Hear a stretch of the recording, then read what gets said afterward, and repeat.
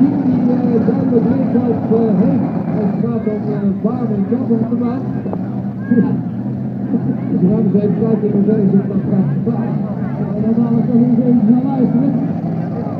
Ik heb hier achter een soort variant van een. Dus dat uh, met kwaad natuurlijk. Dat betekent dat we deze gaan. Maar dat zijn we nog niet op